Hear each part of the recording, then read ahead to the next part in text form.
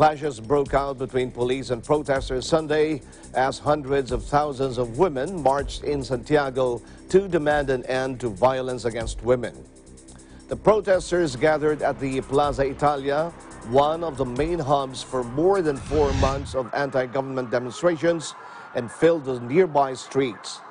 Then, or they then marched up Al Alameda Avenue, one of the main thoroughfares in the Chilean capital, chanting and singing as they went.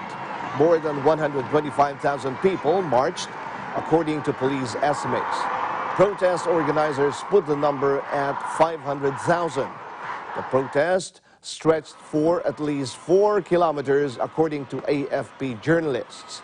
More than 30 people have died in Chile since protests began last October with the announcement of a modest hike in metro transport fares.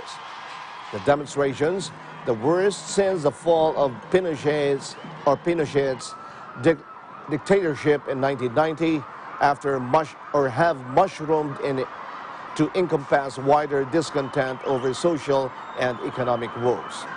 The aim is to pressure Pinera's conservative government to expand social reforms it has already proposed in order to quell violent protests which began last October.